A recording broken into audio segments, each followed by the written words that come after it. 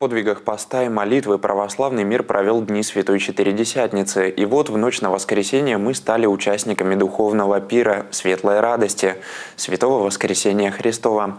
В кафедральном соборе Клинцов прошло праздничное пасхальное богослужение.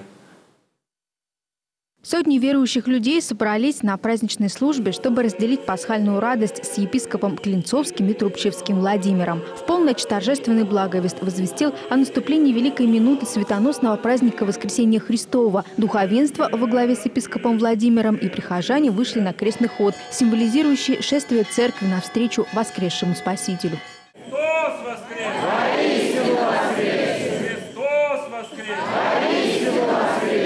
За пасхальной утренней последовала божественная литургия, за которой по традиции пасхальное Евангелие звучало на разных языках в знак проповеди христианства во всем мире. В своем архипасторском слове владыка поздравил прихожан с праздником, пожелав всем доброго здравия и Божьей помощи в добрых трудах.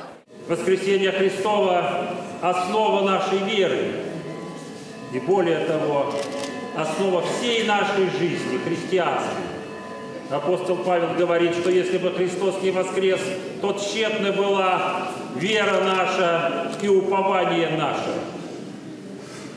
И воскресение Господне не могли сдержать римские воины, незапечатанный гроб, как молния воскрес Господь. Затем правящий архиерей сердечно поприветствовал молящегося за праздничным богослужением вице-губернатора Брянской области Александра Резунова. По окончании праздничного богослужения состоялось освящение пасхальных куличей и яиц.